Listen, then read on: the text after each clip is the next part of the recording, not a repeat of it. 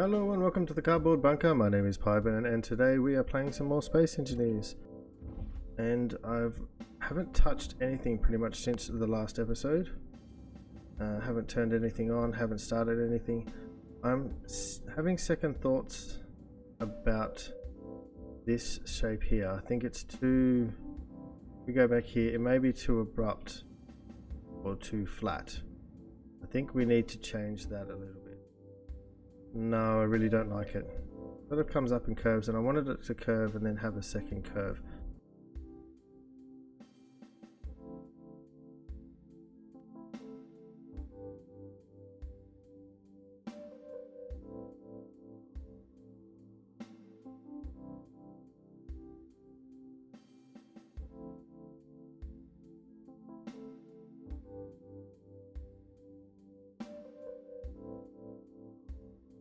So we're going to, yeah, we'll get rid of these ones too. They're smashing into them.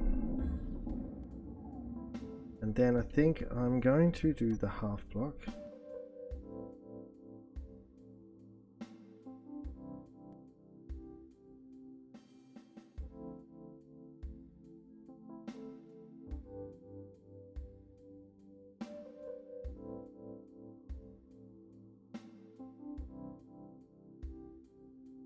See how that looks with just one little bump.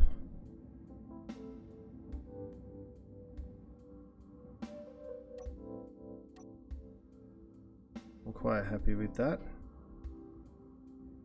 Does mean we need to do some fiddling around under here, but that should be the equivalent of a full block there. And considering this is meant to be essentially destructible, I'm pretty sure that will be okay.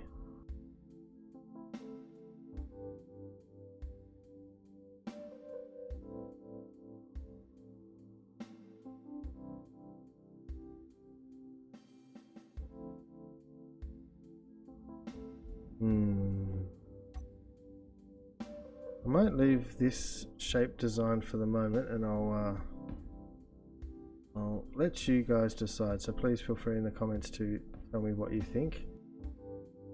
So that's step that's part one part one. That's part number one. So now we need to increase the amount of uh, factories that we have here not factories uh, refineries we have here there is space technically to run them double and I think that might be a good idea. Um, so let's bring out a refinery 9.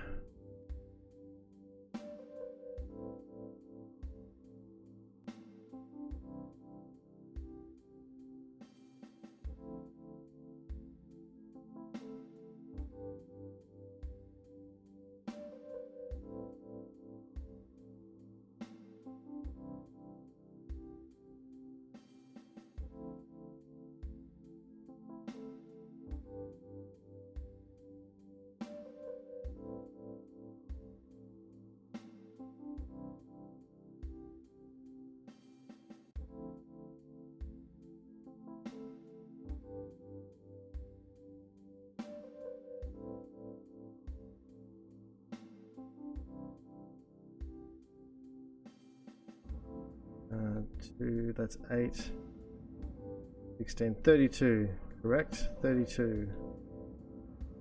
So what I'll be building on in building in this episode, I'm going to run the bar system in the background for the most part and we'll let this build up as much as we can. I'm pretty sure that's how I want the first few layers of the bridge to be.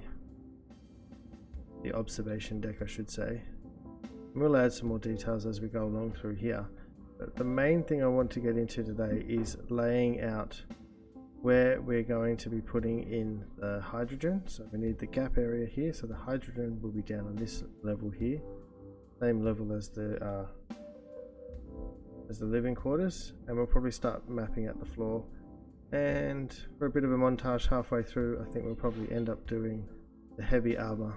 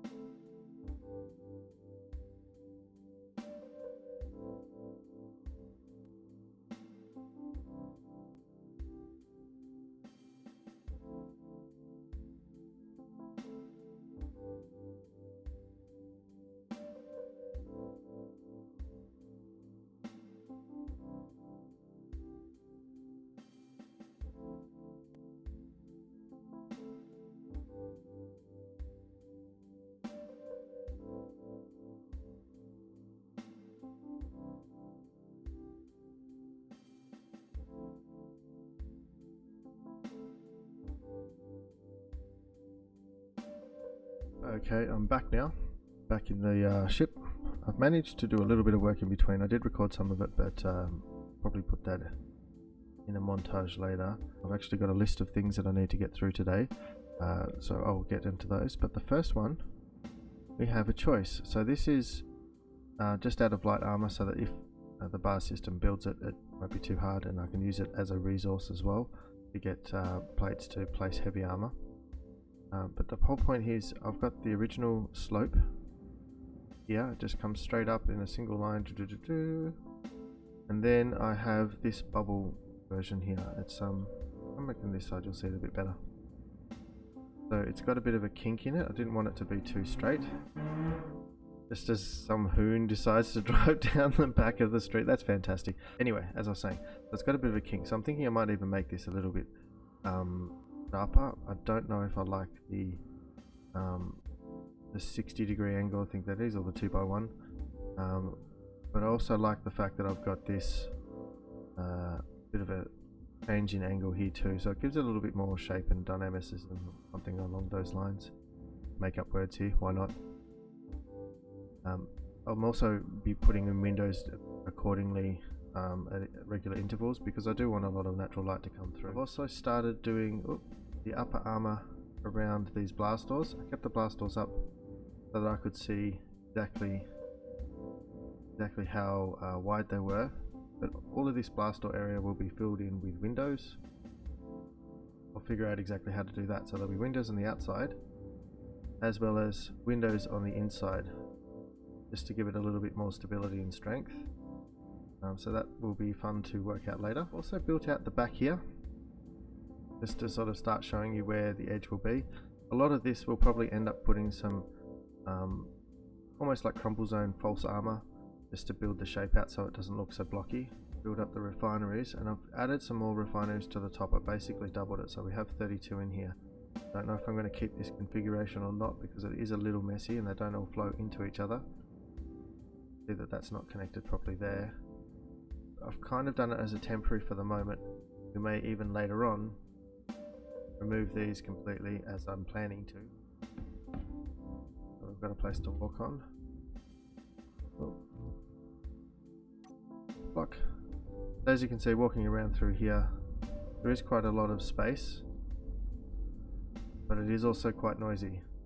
Started the outer skin and then the inner skin for the cavity on the side.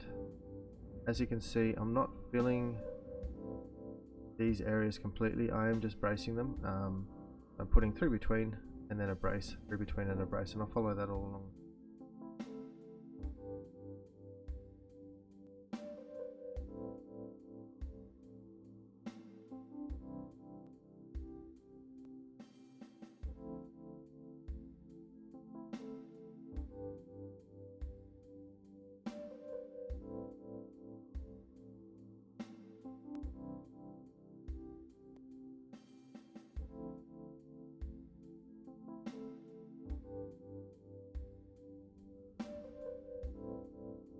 Alright, we're back in here. I've had so many false starts today. A little frustrating, so if you hear that in my voice, I apologise. I'm not cranky. Just uh, still learning how to use this new mic and remembering such petty things as pressing record, which is always handy. Anyway, so I discovered that I had made this off uh, by one uh, airtight hangers here. Should be along this side, not here, but here I'll be placing all of those later and all the internal, uh, sorry, interior blocks along there soon. I discovered it basically because I was doing my ratios again. Uh, sorry, not ratios, the squares. This grid system allows you to sort of plan out your ship a lot better. So this is my center line here. And then all I do is go one, two, three, and then count up three. Don't place it on top. It's a 3 by 3 but Technically it's a 5 by 5 One, two, three. But the internals will be 3 by 3 so inside here is where all the blast doors will go. Uh, but it also allows us to make sure we have everything even and such. So, so that observation deck there may be a little high and I think that's going to throw off the ratio, the beam to width ratio. So I think we're still going to keep it to a, a little bit deeper than that, probably another three down deeper. But I will be bringing in this out and back around, allowing a center part here for uh, the either the mini Janus or another sort of orbital ship to come in and land underneath the factory. So I've started along the lines here, make sure that the grid matches the whole way down the ship.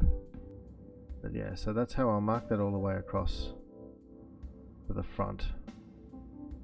And then I'll bring it all the way back to here because I need to mark out exactly actually let's paint this pink quickly so we can get this on.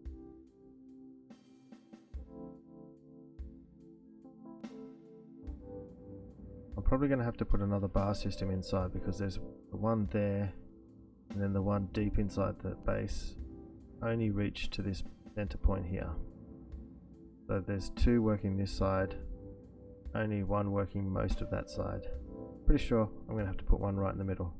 And that covers a, an area 150 by 150, so that's pretty good too. This will be sloping down, probably to here. So we'll mark that as an estimate. So we want to go back at least six squares. So one, two, three, four, five, and that's six. Now I've got that measured, I don't really need to bring the grid in, but more than likely I will when it starts coming to the time of building. Now I want to figure out, do I want the um, engine block to be wider than the ship or thinner than the ship? And so we want to come out one, two, three, and then this is the width we want to go to.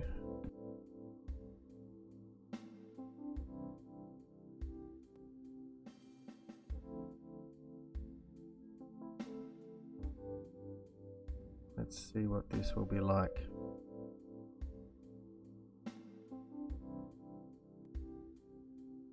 I think that will work. From here I will be bringing these in.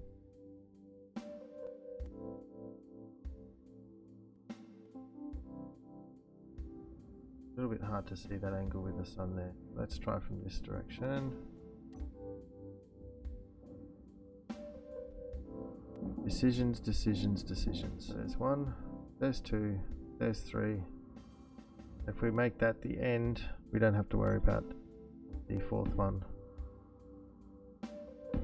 And then we can bring it in sharper.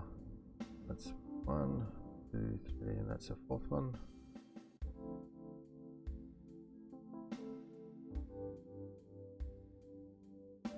And that's our end, where we start building the armor up.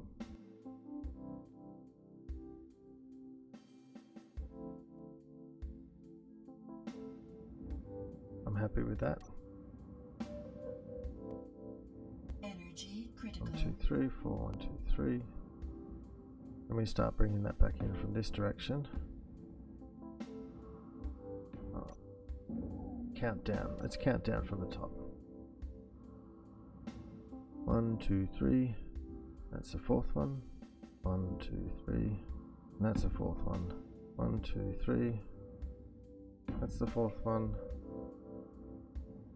Here is our fourth one.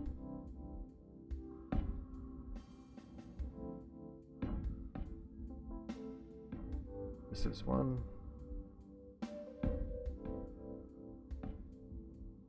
Two down.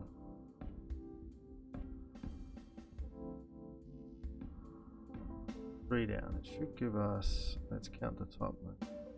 One, two, three, four, five, six squares wide, but two squares high for the observation deck. That's three, that's four, five, six, that's seven. Uh, no. Oh, oh, oh, oh, oh, oh, oh, oh. Okay, while we're in the ship and waiting, let's have a think about it. So we've got one, two, three, four, five, six, seven by six. 7 by 6. 7 wide by 6. Okay, so it's going to be wider than it is shorter. and it's got that nice 7 to 6 or 3 to 4 kind of ratio. Um, we could probably go an 8 by 6 but I really don't can't figure out how I can do that properly um, with the grid system that I use. So 7 by 6 will have to do. It's still pretty good.